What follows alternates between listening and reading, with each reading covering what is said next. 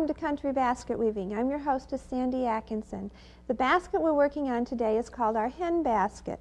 And it's a fun basket to make. Uh, it does have some history. The ladies used to put their brood hen in here and carry it to market. The hen would set in here and be calm and wouldn't give anybody a hard time. I'll get right to the cut pattern on this. It's not really a cut pattern today, but this is a material you'll need. You'll need two 8-inch oak hoops, one 12-inch oak hoop, quarter inch flat, number 6 round reed, and a 10-inch space bar. And I'm going to show you how to make your own space bar here. All I did was take some scrap of uh, crate that I had, or you could use a heavy cardboard, cut it 10 inches, and put two little grooves, one on each end, a little V, no deeper than a half an inch. And I put some tape in here just to kind of make it a little more sturdy. And that's going to be a space bar that we'll use in just a few minutes. To get started on this, I've taken my hoops and you can find where it's glued together on a hoop. One will be on top and one will be on the bottom.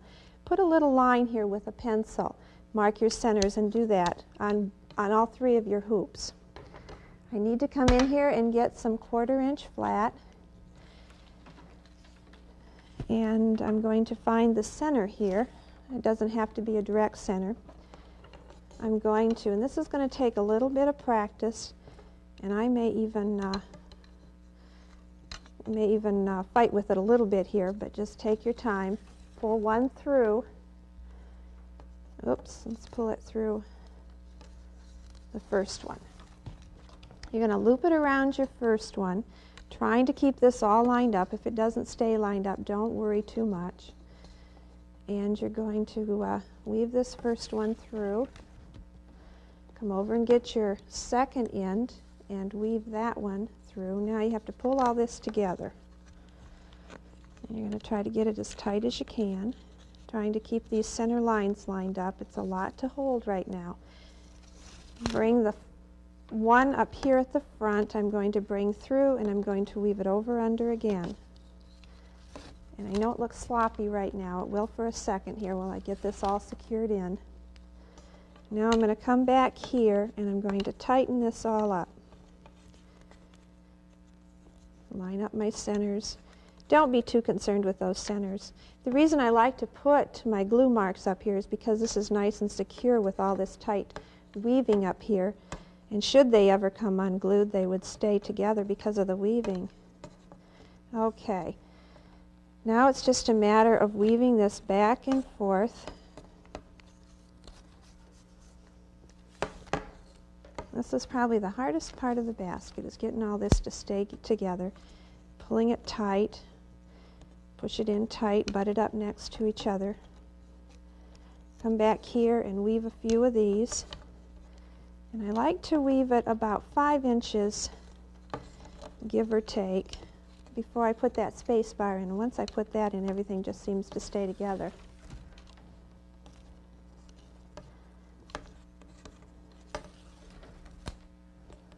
You can spend a little bit more time on this and get it maybe a little bit neater than what I am here. I'm having to hurry somewhat.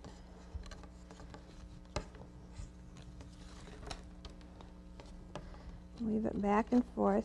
Actually, I'd like to see this just a little bit tighter, a little bit neater done.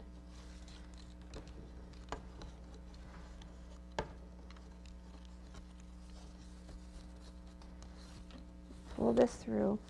It's good to work this first piece with a long piece of your quarter inch flat because I don't like to add in up here at all. The top of the handle should be nice and smooth and doesn't need to be added to.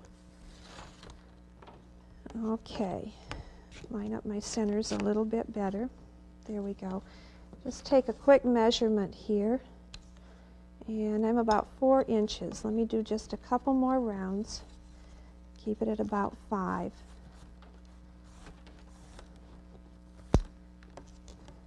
And I'm come up here and do another one up here. Pack it all in tight. And then when you end, have one piece going to the left and one piece coming out to the right. Now, take your space bar and you're going to put your space bar. This is going to help hold your handles out while we do the weaving. Kind of look at it, make sure the two center circles are in the middle of the big circle. And I'm going to do a couple more rounds of weaving here. Now my weaving down here is starting to pull away and to tip a little bit and that tells me it's time to start adding my spokes, my ribs. And the ribs are going to be made out of the number six round reed. Okay, I've just got some random lengths here. When I cut the ends, I'm going to cut them with a point. And that helps that travel down in here. My first one is my longest piece. It's going to fit right next to my, my large hoop here. Slide it up in there and secure it in there. I'm working it around and I'm going to cut it, giving myself enough room for it to fit up into this one, probably about an, oh, three quarters to an inch, somewhere in there. I like a nice long point. And then I'm going to, actually I'm going to pull this out and cut my other piece because what this is like a two-sided basket. What I do to the one side, I should do to the other. Okay, now I'm going to come back in here, put one side in, up there a couple of rows, bring it across, and put the other side in. And this needs to be just a little bit shorter than the than my hoop, which it seems to be. There is room for adjustment in this basket as we work along, so if it happens to work out or work too tight, we can go back in and do some adjusting. And this one's going to slide right in here. This is a very old basket. This one's been around for a long time. And now I'm going to do the same thing, put my points on here so it travels and come in here next to my little hoop down in there a couple of rows. Now this one I want to be oh maybe two finger distance from the base of the hoop down at the bottom. Come up here again and cut there. Remember I have to pull it out because I have to cut one from the other for the other side. Measure it around.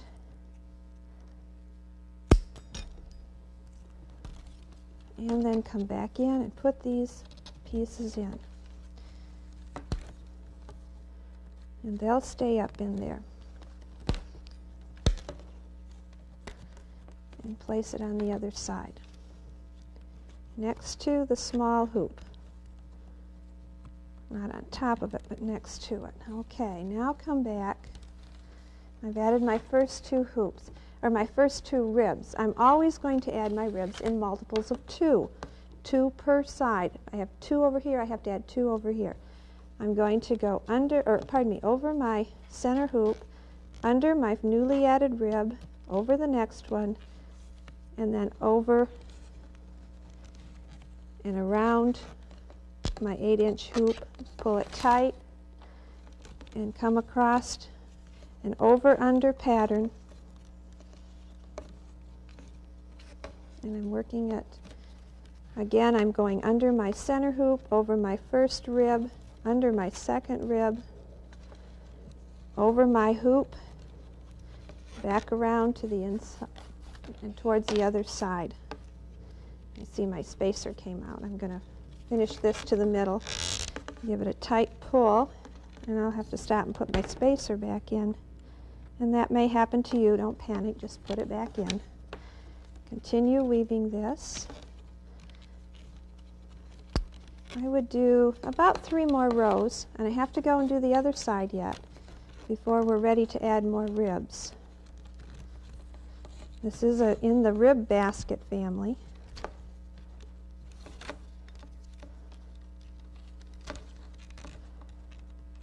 Butt it up in there tight. Okay, come around to this side and you're going to just repeat it. I'm over the center hoop, under my first newly added rib, over my second rib, under my hoop and around. Keep going like that until these are secured in about three to four rows on each side. And I've already done that on this set here.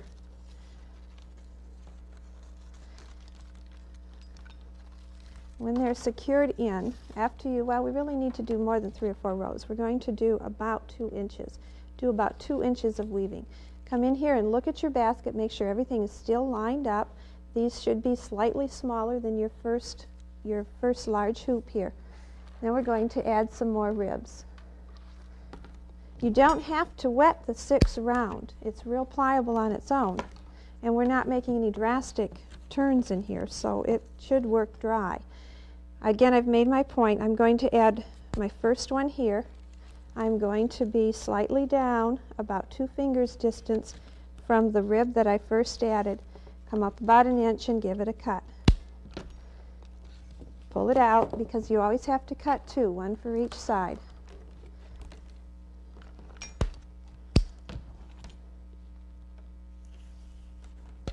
Make it the same length. Remember to cut your ends with a point.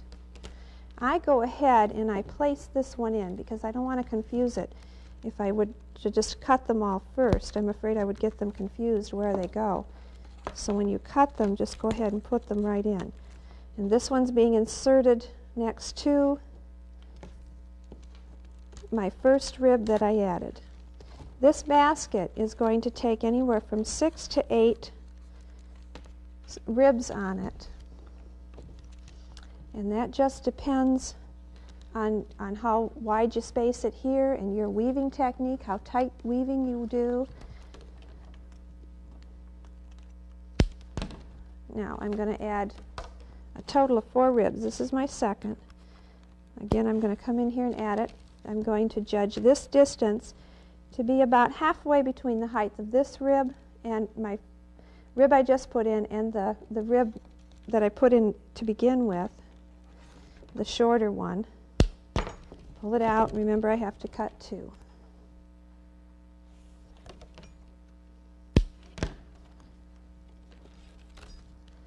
And I'm going to add this one next to my short one on the inside.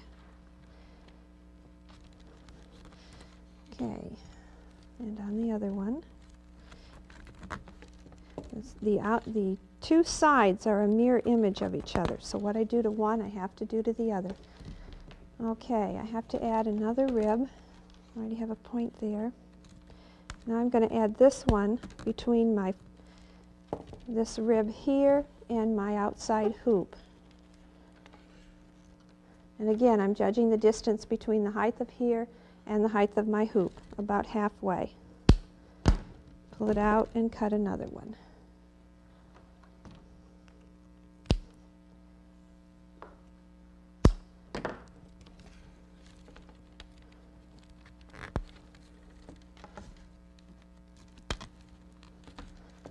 Turn it over and we're going to add this one here.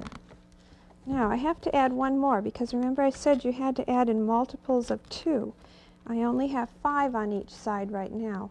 So I have to find a spot to add another one. And I'm going to pull this one out and I think, let's add that next one on the other side of our first one here. And it's going to be about the same height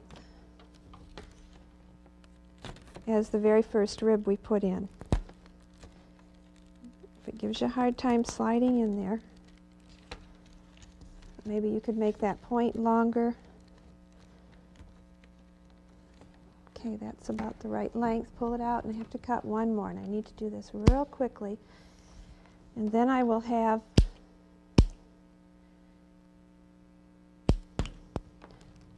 I will have um, six ribs on each side of the basket. And that's a real good number to start with. After I get this one in, I want to hold it up and make sure that everything lines up.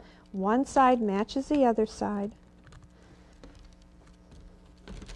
Kind of count my ribs, make sure I have a multiple of two. And everything is lined up, okay? Come back here, and I need to go around my outside hoop.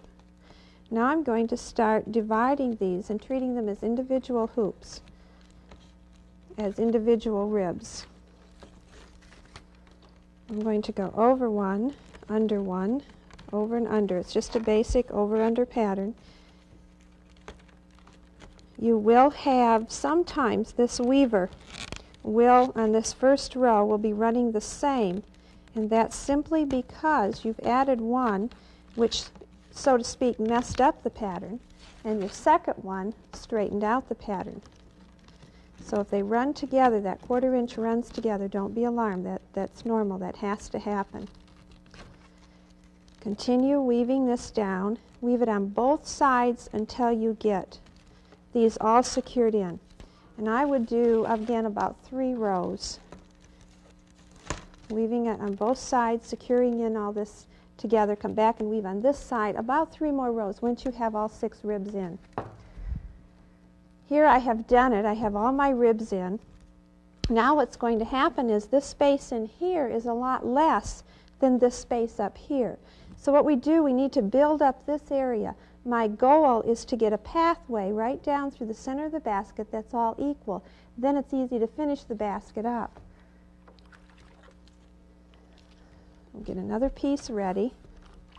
My reed kind of dried out here continue in my over-under pattern, but what I'm going to do now is occasionally I'm going to start turning on a rib instead of turning on the hoops.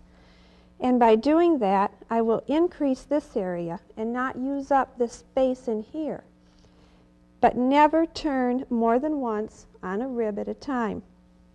I turn back here once to start building up, so you're going to randomly start turning. But what I do on this side, I have to do on the same number of rib on the opposite side. So I've turned here and I've continued weaving and I've turned here and I've woven some more. I did three turns here and I have three turns over here that match. So what you do to one side, you must do to the other side. Let me show you how to add on a piece. I'm going to end this one. I always end on top take out a new piece. Right and wrong sides don't matter anymore because you're turning it and you're using both sides up at one time or another. To add a new piece, I simply slid this one under here. You cannot hide the ends on the, on the rib basket like this, but go back about three or four spokes, hide it on top, weave right on top of the piece that ran out, and keep right on going. I want you to stop every once in a while, look at your ribs, make sure they're still all lined up and they're equal to each other. Keep making these turns. Coming from this way, I would need to go all the way to the other side. I'm going to try to do that quickly for you. I'm going to weave to the other side. And I'm going to do a turn on a rib. I kind of eyeball these ribs now, and I see that this space and the hoop and the first space are kind of the same in distance, so I'm not really worried about that. I'm going to come down here and I'm going to turn on my second rib. And then weave back. What happens, and I've had students get kind of alarmed about this, is that you do create these little triangles. Don't worry about that. Nobody sees them. In fact, the students, when they were picking out a basket to do that, they never worried about it until they saw it. So people really don't see those little triangles. You're going to keep on weaving back and forth. Now that I'm to the other side, I turned over here on my second rib, so I again must turn on the second rib on this side.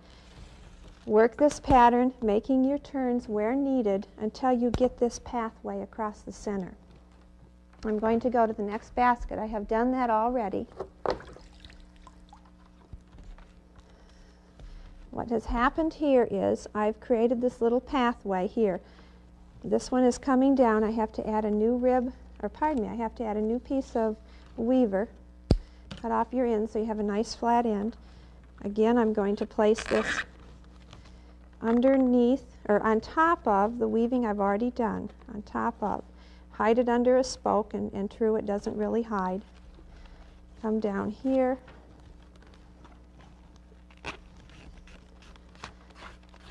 And it gets a little tighter to work this piece over and under. So sometimes when I come to this part, I start feeding the end back and forth and then pulling the whole length. This is a really fun basket to make and once you've made one and understand the concept of it, it's one that you don't have to think about so it's a nice one to, to do while somebody's visiting or you, you're able to talk and not really think about this one too much. But I kind of find that true with any basket in the egg family. Once you learn how to, to uh, get the concept, it goes pretty easy. All I'm doing now is filling in this space in here, which will be weaving back and forth. Butt them up in tight. Remember to pull it tight when you come to a, a hoop because we don't want to have any loose quarter inch on that hoop. And again, I'm getting a little bit tight in here, so I'm going to have to come in and feed that end back and forth through. Go for a few spokes. Oops, I can't get a hold of it. There we go. And, uh, and then come back and pull your end.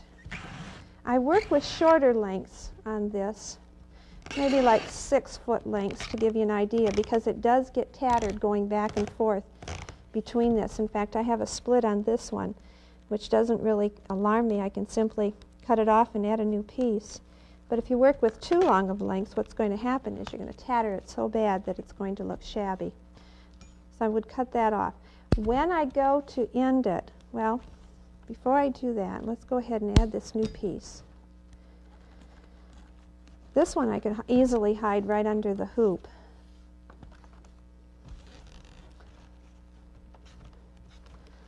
weave this back and forth.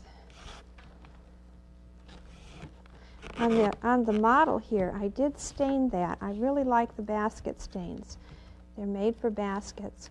I would like to give you a formula. If you have a wood stain, there are a lot of nice wood-colored stains on the market, but if it says that it seals the wood, don't use it on your basket. It's going to become very, very brittle. These baskets should outlive us. Our grandkids should enjoy our baskets. So don't use a wood stain if it says it's going to seal the basket or seal the wood. What you need to do is take one cup of your wood stain, add it to one cup of odorless turp, and one to two tablespoons of linseed oil. And that will take and make a, a really nice basket stain. But there are also basket stains on the market. Now, what has happened here, I have this edge filled up here. So I'm going to take this piece and weave it back. Make sure I stay on this side of the weaving. Weave it back here. I'll have to make probably two turns yet on this side here. Then when I come back, I will have these two ends. I have two ends, one from each side and I'm going to bring one up, bring the other up, and they're going to overlap and hide, up e hide underneath each other like that. A really uh, nice, easy basket to make. I'm really excited about the baskets that we'll be working on next week. This one's called My Wild Things Wall Pouch. Has a grapevine handle, another variation of the same basket. Lots of naturals in it. Uh, palm seeds, core, yarn, whatever you have on hand or whatever you can find in the wild, we can use in these baskets. I'll look forward to seeing you next week.